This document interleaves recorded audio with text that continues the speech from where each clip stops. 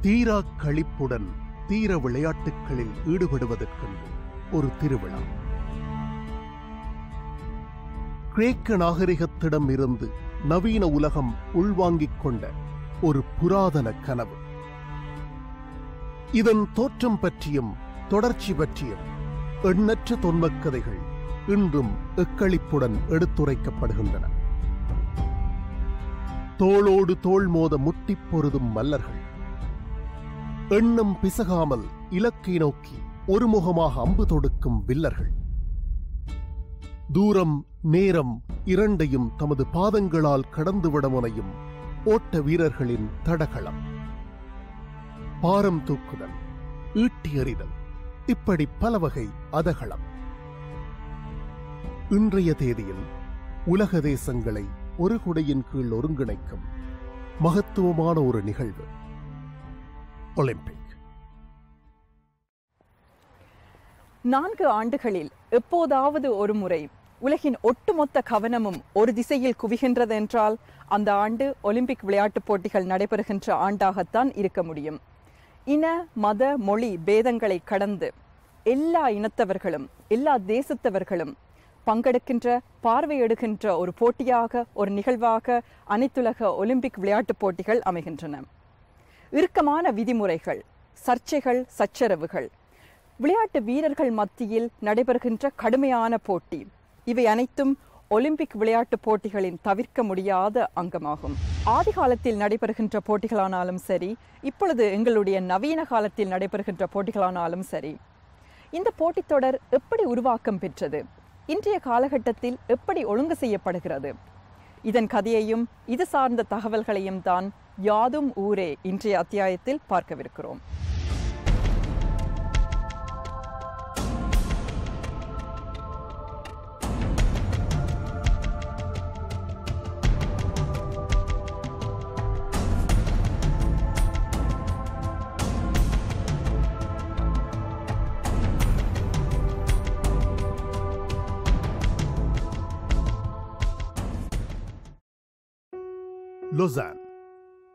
ஐரோப்பாவின் இதயப்பகுதியில் அமைந்திருக்கும் ஏரிக்கரை நகரம். சுவிட்சர்லாந்தின் இயற்கை வனப்பை எடுத்துச் சொல்லும் இன்னும் ஓரிடம்.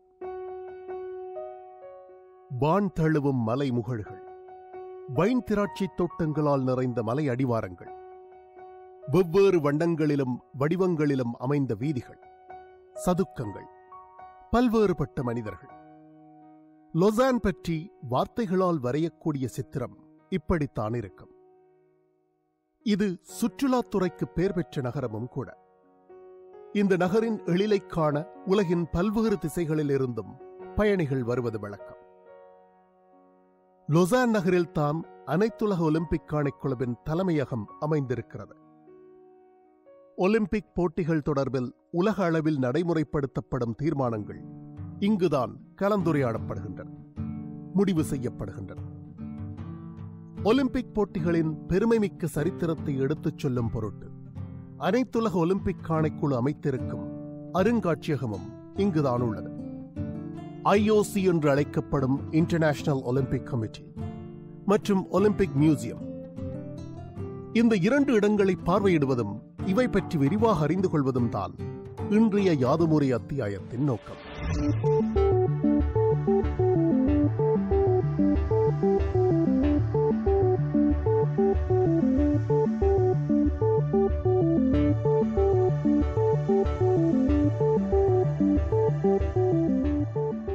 இன்டர்நேஷனல் ஒலிம்பிக் கமிட்டி என்று அழைக்கப்படும் அனைத்துலக ஒலிம்பிக் ஆணைக்குழு ஒலிம்பிக் போட்டிகளை ஒருங்கிணைக்கின்ற ஒழுங்கு செய்கின்ற தலைமை நிறுவனம். போட்டி தொடர்பான அனைத்துவித அதிகாரங்களையும் இந்த அமைப்பு கொண்டுள்ளது. ஒலிம்பிக் மூமெண்ட் என்று சொல்லப்படுகின்ற ஒட்டுமொத்த இயக்கத்தின் தாய் நிறுவனமாகவும் இது இருக்கிறது. விரிவாகச் சொல்வதென்றால் இன்டர்நேஷனல் ஒலிம்பிக் கமிட்டி அதாவது அனைத்துலக ஒலிம்பிக் ஆணைக்குழு இன்டர்நேஷனல் ஃபெடரேஷன்ஸ் பல்வேறு விளையாட்டுகளையும் பிரதிநிதித்துவப்படுத்துகின்ற அனைத்துலக ஆணையங்கள் நேஷனல் ஒலிம்பிக் கமிட்டிஸ் உறுப்பு நாடுகளை பிரதிநிதித்துவப்படுத்துகின்ற தேசிய ஒலிம்பிக் ஆணைக்குழுக்கள். இவை மூன்றும் சேர்ந்த தொகுதியே ஒலிம்பிக் மூமெண்ட் அல்லது ஒலிம்பிக் இயக்கம் என்று அழைக்கப்படுகிறது. புராதன கால ஒலிம்பிக் போல அனைத்துலக அளவில் ஒரு விளையாட்டுப் போட்டி நடத்தப்பட வேண்டும் என்ற எண்ணத்தை. பிரபல பிரெஞ்சு வரலாற்றாசிரியரும் கல்வியலாளருமான பியத கோபத்தேன் ஆயிரத்தி எண்ணூற்று தொன்னூற்றி இரண்டாம் ஆண்டு முன்வைத்தார். இவரே நவீன ஒலிம்பிக்கின் தந்தை என்று அழைக்கப்படுகிறார். கூபத்தேனனுடைய எண்ணப்படி ஆயிரத்து எண்ணூற்று தொன்னூற்று நான்காம் ஆண்டு இன்டர்நேஷனல் ஒலிம்பிக் கமிட்டி ஆரம்பிக்கப்பட்டது. ஆயிரத்து எண்ணூற்று தொன்னூற்று ஆறாம் ஆண்டு ஏப்ரல் மாதம் ஆறாம் திகதி முதலாவது நவீன ஒலிம்பிக் போட்டி ஏதென்ஸ் நகரில் நடத்தப்பட்டது. வெற்றியீட்டுவதை விட வெற்றிக்காக பாடுபட்டு உழைப்பதும் போராடுவதுமே முக்கியமானது என்பது புயத கோபத்தனுடைய தத்துவ பார்வையாக இருந்தது. அதையே அவர் ஒலிம்பிக் போட்டிகளின் அடிநாதமாகவும் முன்வைத்தார். பண்டை காலத்தில் ஒலிம்பிக் போட்டிகள் நடைபெறும் போது கிரேக்கத்தின் நகர அரசுகள் தம்மிடையே யுத்த நிறுத்த பிரகடனம் செய்து கொள்வது வழக்கம். நவீன கால ஒலிம்பிக்கிலும் இந்த நடைமுறை பின்பற்றப்படுகிறது.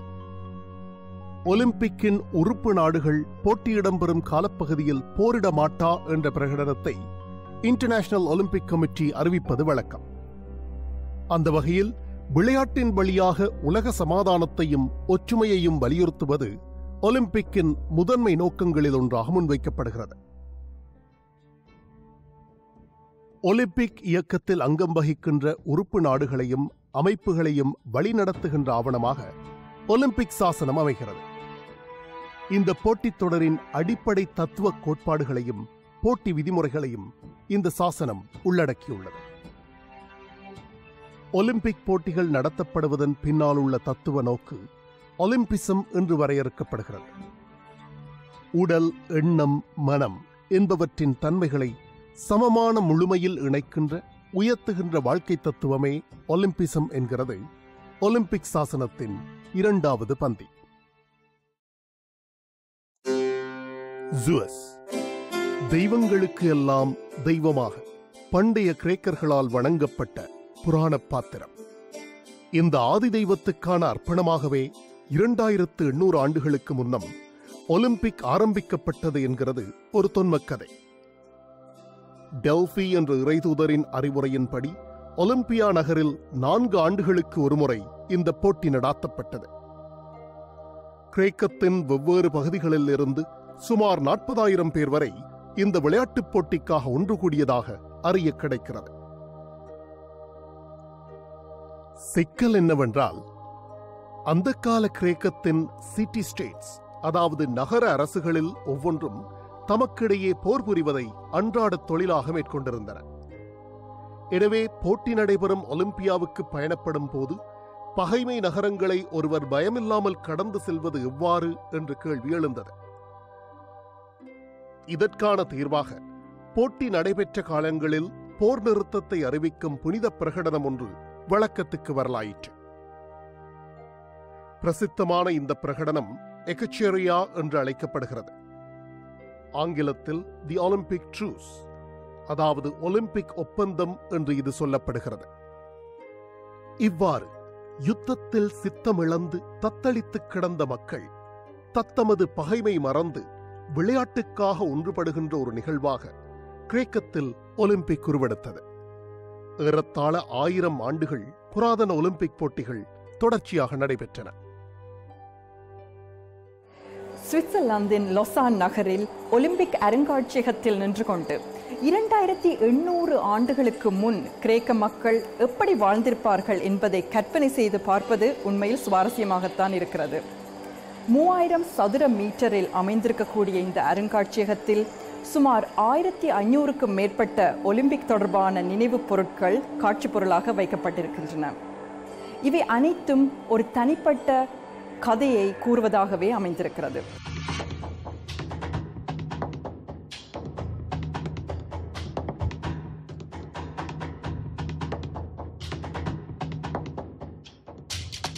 ஒலிம்பிக் அருங்காட்சியகத்தின் இந்த பகுதி ஒலிம்பிக் வேர்ல்ட் அதாவது ஒலிம்பிக் உலகம் என்று அழைக்கப்படுகிறது. புராதன ஒலிம்பிக் விளையாட்டுகள் எப்படி தோற்றம் பெற்றன? அதன் அடிப்படையாக கொண்டு இன்றைய நவீன ஒலிம்பிக் விளையாட்டுகள் எப்படி உருவாக்கம் பெற்றன என்பதுதான் ஒலிம்பிக் வேர்ல்ட் பகுதியில் நாங்கள் காணலாம். ஒலிம்பிக் மியூசியத்தில் நிரந்தர கண்காட்சியாக அமைக்கப்பட்டுள்ள மூன்று தளங்களில் முதலாவது தளம் தி ஒலிம்பிக் வேர்ல்ட் ஆதிகால ஒலிம்பிக் போட்டி எவ்வாறு ஆரம்பிக்கப்பட்டது என்பது குறித்து பல வகை ஐதீகங்கள் நிலவுகின்றன என்பதை முன்பு கண்டோம். அத்தனை அனாயச சரித்திரம் கொண்ட ஒரு விளையாட்டுப் போட்டியை மீண்டும் உலக அளவில் உயிர்ப்பித்துக் கொண்டு வர வேண்டும் என்று கொபதா முன்வைத்த எண்ணம் முதலில் வேடிக்கையான ஒன்றாகவே பார்க்கப்பட்டது. ஆனால் தளராத மன உறுதியும் அவரது எதிர்கால தரிசனத்தில் நம்பிக்கை கொண்டிருந்த நண்பர்கள் வட்டமும் அவரது கனவு நனவாகுவதற்கு உறுதுணையாக அமைந்தன. அந்த வகையில் ஒலிம்பிக்கோடு பின்னிப்பிணைந்திருந்த அவரது வாழ்க்கை கதை இந்த பகுதியில் ஆவணப்படுத்தப்பட்டுள்ளது.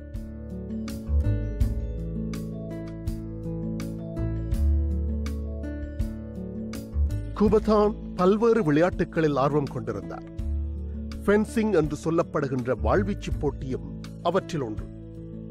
இந்த ஓவியத்தில் வாழ்வீச்சு போட்டிக்கான ஆடையை அணிந்தபடி குபதான் நிற்கிறார். குபதானின் வாழ்க்கை காலத்தில் அவரை கொண்டு வரையப்பட்ட ஒரே ஒரு ஓவியம் இது மாத்திரமே என்பது குறிப்பிடத்தக்கது. Sydney Beijing London. கடந்த சில ஆண்டுகளில் ஒலிம்பிக் போட்டிகள் நடைபெற்ற நகரங்கள் இவை. ஒலிம்பிக் போட்டிகள் நடைபெறும் நாட்களில் உலக ஊடகங்களின் ஒருங்கிணைந்த பார்வை இந்த நகரங்கள் மீது பதிந்திருக்கும். பெரும் பொருட்செலவோடு பிரம்மாண்டமாக நடத்தப்படும் ஒலிம்பிக் போட்டிகள் நுட்பமான திட்டமிடலையும் ஒழுங்கமைப்பையும் கோரி நிற்பன. புதிய கட்டிடங்கள் அரங்குகள் என்று ஏராளமான நிர்மாண வேலைகள் இடம்பெறும் காலப்பகுதியாகவும் ஒலிம்பிக் ஏற்பாட்டு தருணங்கள் அமைகின்றன. ஏற்பாடுகள் கச்சிதமாக பூர்த்தி செய்யப்பட்ட நிலையில் பெரும் கோலாகலத்தோடு ஒலிம்பிக் போட்டிகள் ஆரம்பமாவது வழக்கம். ஒலிம்பிக் பற்றிய தகவல்களையும் காட்சிகளையும் பிரசுரிப்பதற்கான ஒளிபரப்புவதற்கான ஊடக உரிமத்தை பெறுவதில் பெரும் போட்டி நிலவுவதும் வளமை காரணம் இந்த நிகழ்ச்சிகளுக்கு இருக்கும் வணிகப் பெறுமதி. அந்த வகையில் ஒலிம்பிக் ஒலி ஒளிபரப்பு சார்ந்து இறுக்கமான நடைமுறைகள் கடைபிடிக்கப்படுகின்றன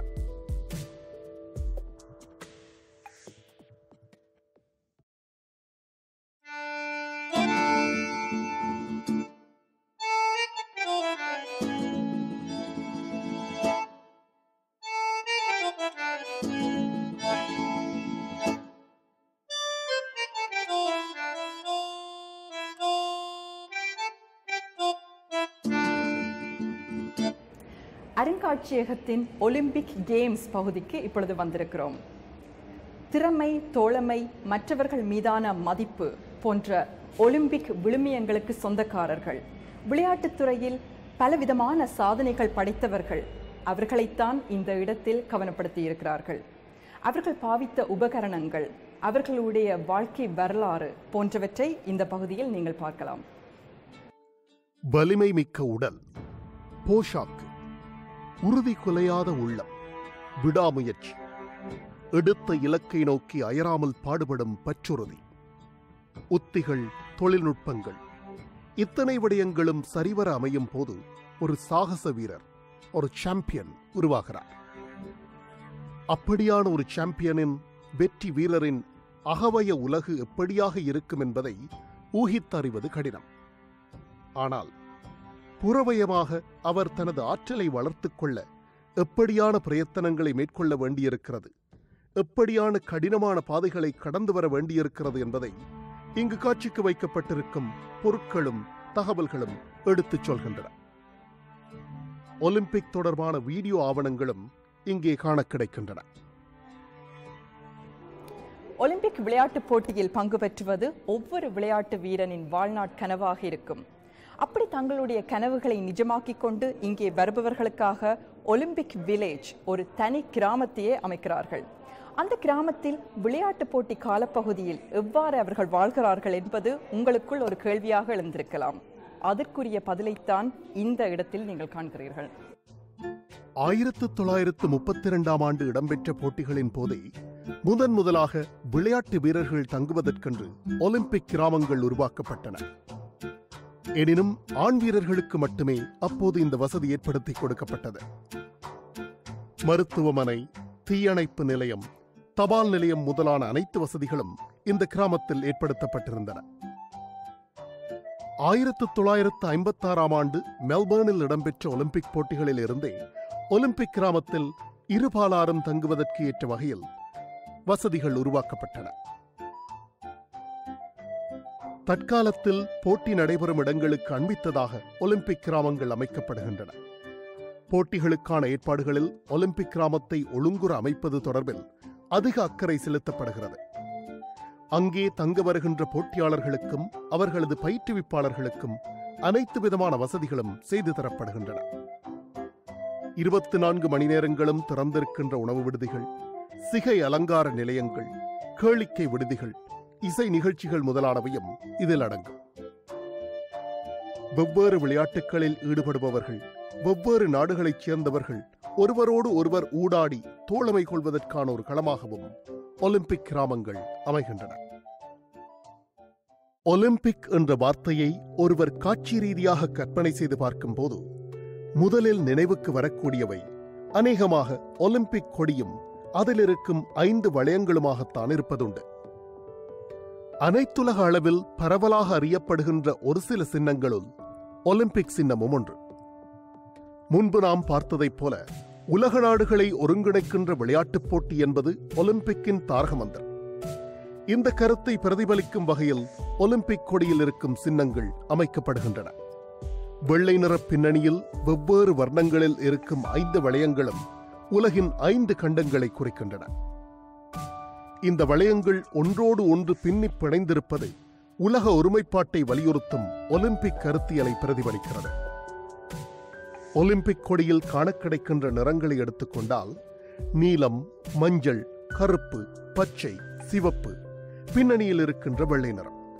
மொத்தமாக இந்த ஆறு நிறங்களும் உலக தேசங்களை குறிக்கின்றன.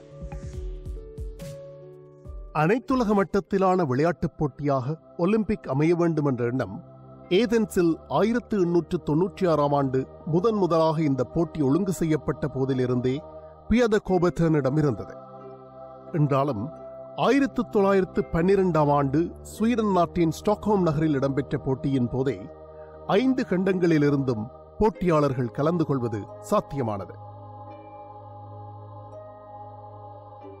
அடுத்த ஆண்டு ஒலிம்பிக் தொடர்பாக எழுதிய கடிதம் ஒன்றின் முகப்பு பகுதியில் கோபத்தேன் தனது கைப்பட ஐந்து வளையங்கள் வரைந்து அவற்றுக்கு வண்ணமும் தீட்டியிருந்தார்.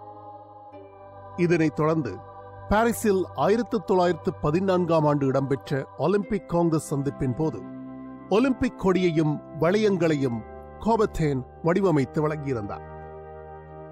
ஆயிரத்து தொள்ளாயிரத்து பதினாறாம் ஆண்டு ஜெர்மனியின் பேர்லின் நகரில் ஒலிம்பிக் கொண்டாடுவதாக உத்தேசிக்கப்பட்டிருந்த போதிலும் முதலாம் உலகப் போர் காரணமாக அது சாத்தியப்படவில்லை. பெல்ஜியம் நாட்டின் ஆண்ட்ரப் நகரில் ஆயிரத்தி தொள்ளாயிரத்தி இருபதாம் ஆண்டு இடம்பெற்ற ஒலிம்பிக் போட்டிகளின் போதே முதன் முதலாக ஐந்து வளையங்கள் கொண்ட ஒலிம்பிக் கொடி கம்பீரமாக காற்றில் பறக்க ஆரம்பித்தது. இருபதாம் நூற்றாண்டின் தொடக்கத்தில் நிலவிய அரசியல் சூழலை கருத்தில் கொண்டு பார்த்தபோது ஒலிம்பிக் கொடி பிரதிநிதித்துவப்படுத்திய சர்வதேசத்துவம் வரவேற்கத்தகுந்த புதியதொரு எண்ணக்கருவாக கருதப்பட்டது. மேற்குலகின் தேசங்கள் ஒன்றோடு ஒன்று மோதிக்கொண்டிருந்த சூழலில் உலக ஒருமைப்பாடு உலக ஒன்றிப்பு என்ற கருத்தியலை ஒலிம்பிக் சின்னம் முன்வைத்தது. ஃபாஸ்டர் ஹையர் ஸ்ட்ராங்கர் என்பதுதான் ஒலிம்பிக்கின் மோட்டோ ஒலிம்பிக்கின் குறிக்கோள் வாக்கியம். அதாவது அதிக வேகம் அதிக உயரம் அதிக வல்லமை. இருப்பதை விட மேலான ஒன்றை இலக்கு வைத்து எப்போதும் இயங்க வேண்டும் என்ற எண்ணத்தை இந்த சொற்றொடர் முன்வைக்கிறது. ஒரு விளையாட்டு வீரருக்கு இருக்க வேண்டிய மன உறுதியை வலியுறுத்துகிறது. உருவக ரீதியாக ஒலிம்பிக்கை பிரதிநிதித்துவப்படுத்துகின்ற மற்றொரு முக்கிய சின்னம் ஒலிம்பிக் சுடர். ஒவ்வொரு முறை போட்டிகள் இடம்பெறும் போதும் இது சார்ந்த சம்பிரதாய சடங்குகள் நுணுக்கமாக பின்பற்றப்படுகின்றன. போட்டிகள் ஆரம்பமாவதற்கு சில மாதங்கள் முன்னதாக ஆதிகால ஒலிம்பிக் போட்டிகளை நினைவுகூரும் பொருட்டு கிரேக்க நாட்டின் ஒலிம்பியா நகரில் ஒலிம்பிக் சுடர் ஏற்றப்படுகிறது. சூரிய ஒளி மூலமாக மாத்திரமே ஒலிம்பிக் சுடர் ஏற்றப்படலாம் என்ற விதிமுறை இதன் போது பின்பற்றப்படுகிறது. ஒவ்வொரு முறை போட்டியின் போதும் புதிய ஒலிம்பிக் பந்தங்கள் உருவாக்கப்படுகின்றன. ஒலிம்பியாவில் ஏற்றப்பட்ட சுடர் வெவ்வேறு இடங்களில் இருக்கும் ஓட்ட வீரர்களின் பந்தங்களுக்கு பரிமாறப்பட்டு தொடரோட்டத்தின் வழியாக ஒலிம்பிக் போட்டி நடைபெறும் இடத்துக்கு கொண்டு செல்லப்படுகிறது. இந்த தொடரோட்டம் பல நகரங்களை நாடுகளை கண்டங்களை கடந்து நடைபெறும் என்பது குறிப்பிடத்தக்கது. தொடரோட்ட பயணத்தில் கடந்து போகும் ஊர்களில் உள்ளவர்களுக்கு ஒலிம்பிக் போட்டிகள் நடைபெற உள்ள செய்தி அறிய கிடைக்கும் என்பதும் இந்த பயணத்தை தொடர்பவர்கள் உலகின் வெவ்வேறு பண்பாடுகள் பற்றி அறிந்து கொள்ள முடியும் என்பதும் சிறப்பு அம்சங்கள் பிரம்மாண்டமான பெருநிகழ்வுகள் அவற்றை நடாத்துகின்ற நிறுவனங்கள் என்று வந்துவிட்டாலே சர்ச்சைகளுக்கும் ஊழல் குற்றச்சாட்டுகளுக்கும் குறைவிருப்பதில்லை.